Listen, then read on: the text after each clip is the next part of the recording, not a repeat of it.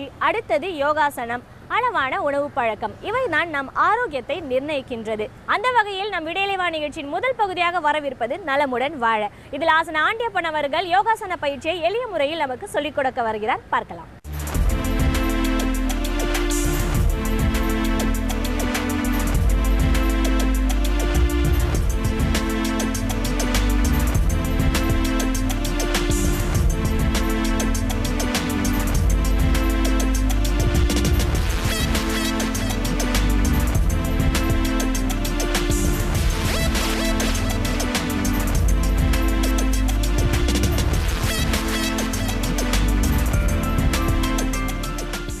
என் அருமை உலக தமிழ் மக்களே தாய்மார்களே பெரியோர்களே சிறார்களே என் அருமை சீடர்களே யோக நண்பர்களே உங்கள் அனைவருக்கும் என் இனிய காலை வணக்கம்.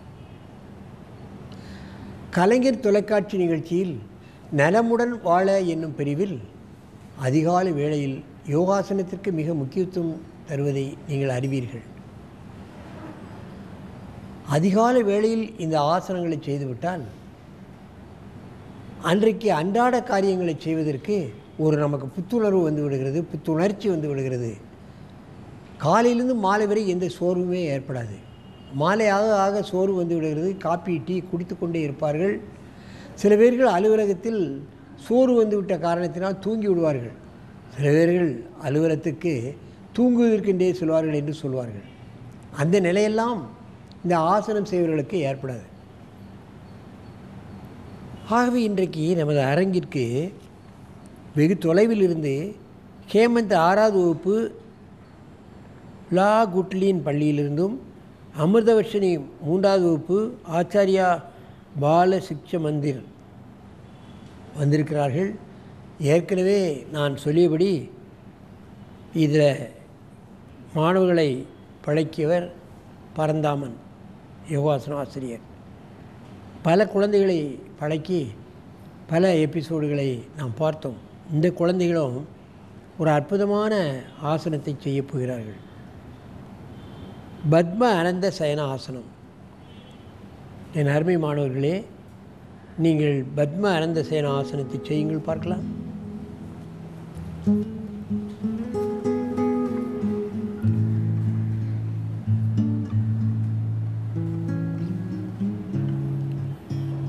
பத்மாசனம் போட்டுக்கொண்டு மகிழ்ச்சியாக இந்த ஆசனத்தை செய்கிறது. பத்மாசனம் போடுவது என்பது சற்று கடினம்.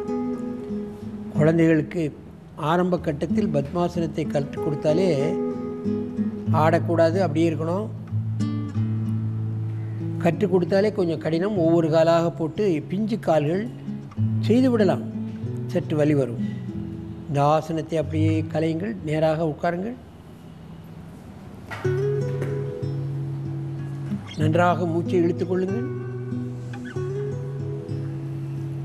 இப்பொழுது மறுபக்கமாக சாய வேண்டும். சாயுங்கள். நேராக பார்க்க வேண்டும். சின்முத்திரையை வைத்திருக்கிறார்கள். பத்மாசனத்தில் சாய்ந்து தலையில் கை வைத்து ஆனந்தமாக உட்கார்ந்திருக்கிறார்கள். இந்த ஆசனத்தை போட்டாலே நமக்கு ஒரு ஆனந்தமான நிலை உடலிலே ஏற்படும் என்பதை நீங்கள் தெரிந்து கொள்ள வேண்டும். ஏனென்றால் பரந்தாமன் ஏன் படுத்து கொண்டிருக்கிற எல்லா தெய்வங்களும் நின்று கொண்டும் உட்கார்ந்து கொண்டும் தான் இருக்கும்.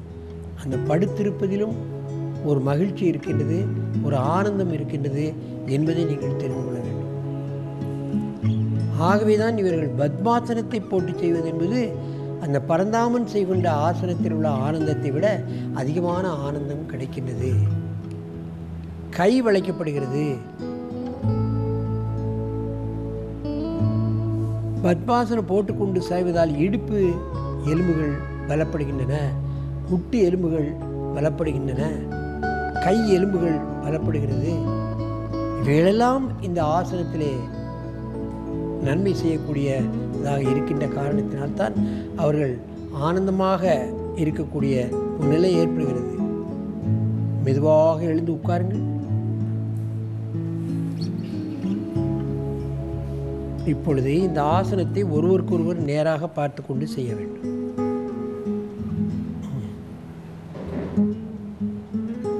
பண்ணிப்போம். அப்படி திரும்பிங்க பத்ம அனந்த சயன ஆசனம்.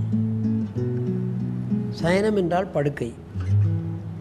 அனந்தங்களோட ஆனந்த சயனம் என்று சொல்லலாம். பத்ம ஆனந்த சயன ஆசனம். ஆனந்தமான நிலை ஏற்படுகின்ற காரணத்தினால் ஆனந்த சயனம் என்று நாம் குறிப்பிடலாம். மெதுவாக எழுந்திருங்கள். நன்றாக மூச்சை இழுத்துக் இப்பொழுது அந்த பக்கமாக சாய்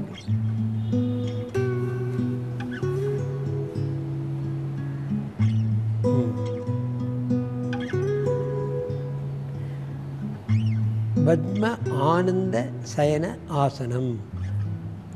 முதலிலே பத்மாசனம் போட்டு பழகினால்தான் இந்த ஆசனம் வரும். மெதுவாக எழுந்து உட்காருங்கள். நன்றாக மூச்சை வாங்கிக் கொள்ளுங்கள். நேராக உட்காருங்கள். ஒரு முறை செய்யுங்கள் பார்க்கலாம்.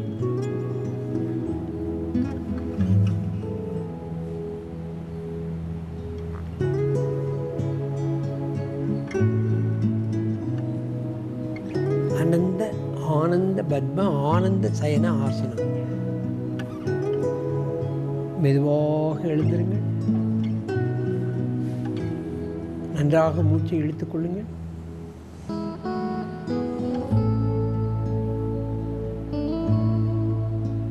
அந்த பக்கமாக சாயுங்கள் அடுத்த பக்கம்.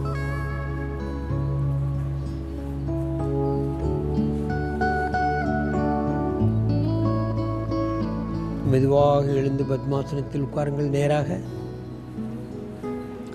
இனி அருமை பெரியோர்களே தாய்மார்களே இவைகளெல்லாம் மாணவர்களுக்கு சற்று கடினமான ஆசனங்களைத்தான். அதை பழக பழக பழக லகுவான ஆசனங்களாக மாறிவிடும். ஏதோ ஒரு நாள் செய்துவிட்டு திரும்பவும் பத்து நாள் கழித்து இந்த ஆசனங்களை செய்தால் அது உடலுக்கு வலிப்பு வலி வரும் கடினமாக இருக்கும் கஷ்டமாக இருக்கும்.